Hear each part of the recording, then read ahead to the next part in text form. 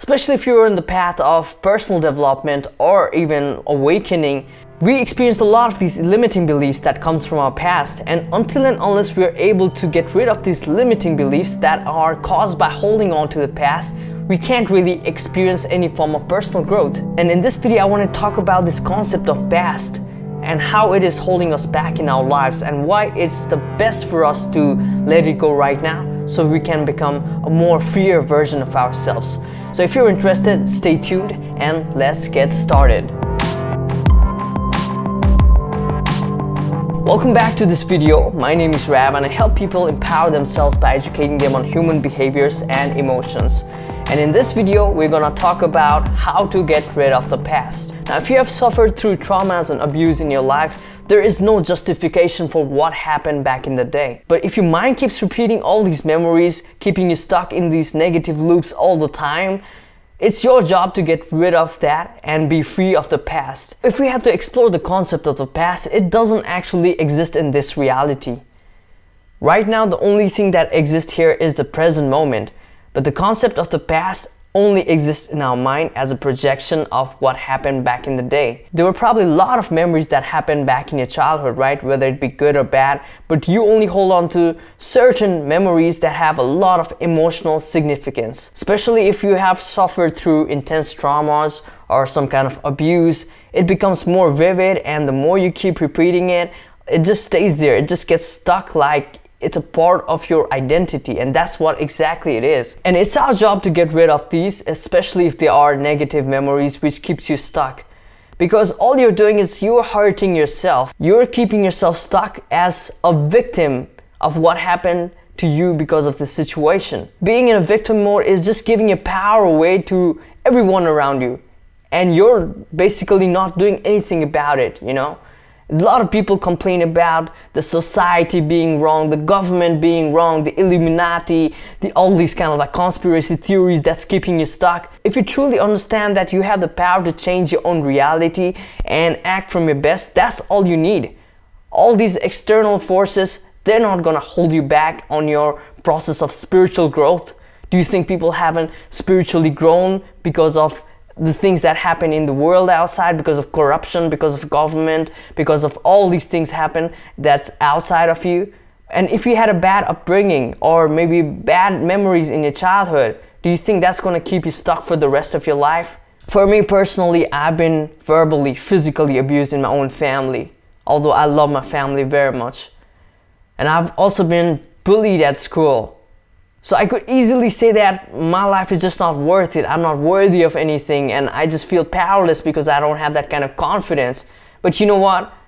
I was in that mode for a long time, for the longest times, probably for about like 10, 15 years, even after that incident happened. Eventually, I had to be really truthful to myself and acknowledge that whatever happened was in the past. Now, if I, if I wanted to do something good with my own life, I had to actually deal with my current reality and shape it the way I want it to be, right? It's all about law of attraction. It's all about how you can manifest your own reality to get it to the way you want it to be. And it's totally possible. But if you feel like you've been a victim of what happened back in the day, it's never gonna let you grow.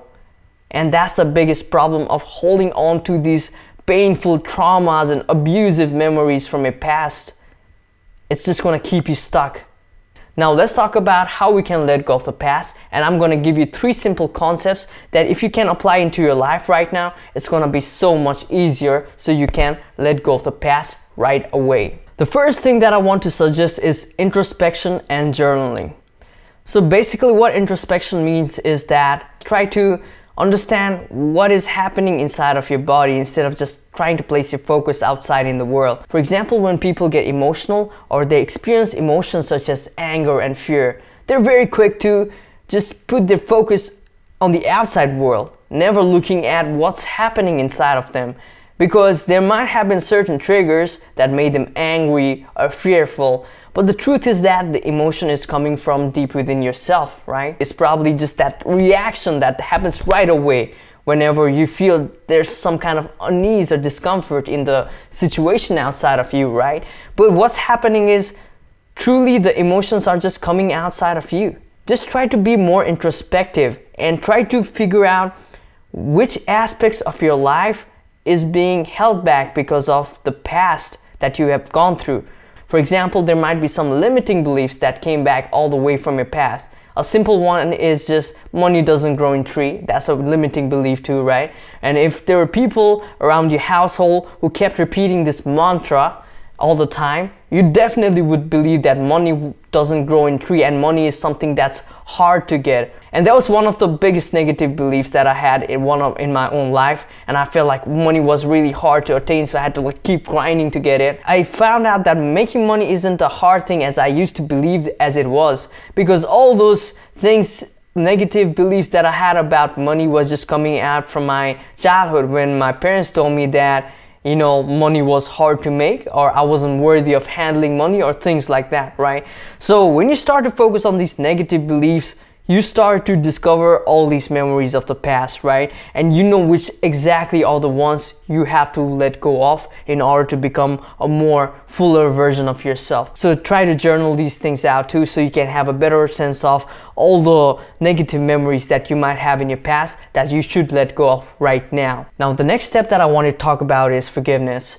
Now I have made a video about this separately and I talk about seven different steps which you can apply to forgive somebody. And these are very quick steps to be honest and it also talks about like how you can write a letter to somebody to forgive them for all the pains that they've caused in your life. And you don't even have to post the letter or send them the letter or email them or anything like that. It's just for you to forgive them to let go of that resentment. And when you do this it's just going to create so much space so much freedom in your life to do some new things so you can grow yourself tremendously in the future. And in the video about forgiveness, I mentioned a quote about Buddha right in the very beginning, uh, which says that resentment is holding on to the anger and expecting the other person to get burned.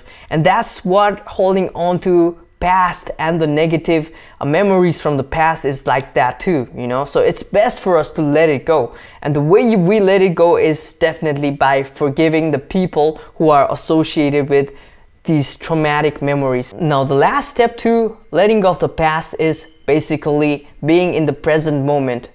As long as you're in the present moment truly you won't be able to feel all these memories from the past because past really is just a projection of the memories that happened back in the day. Now, it doesn't exist in the current reality, but as long as you start bringing it in your mind and start ruminating about it, it's always gonna be there.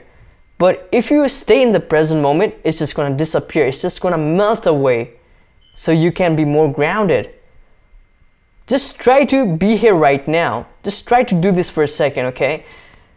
Just try to look at that screen where you are seeing me from. Besides this moment, there's nothing else happening around you.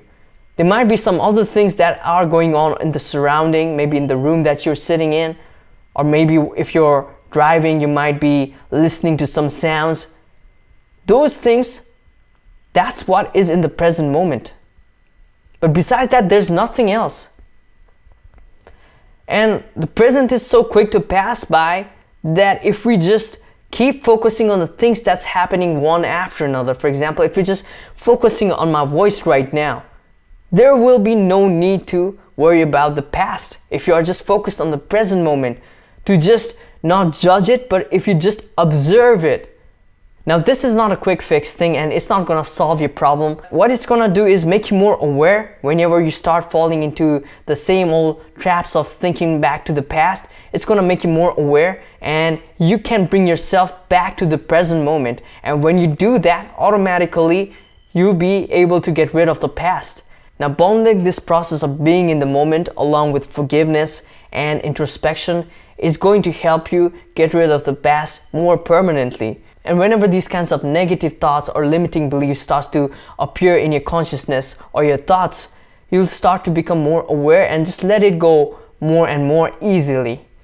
And that's when you start to experience real growth, real freedom in your life. And that's the beauty about letting go of the past.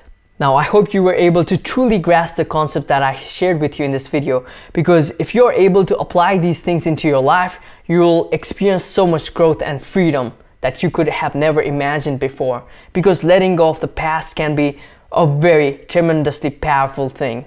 Now, if you haven't subscribed to this channel already, please feel free to do so right now because there's always awesome contents like these rolling in. If you want to work one-on-one with me, right now I'm offering a very inexpensive one-on-one coaching sessions. So if you want to take advantage of that, the link is in the description below.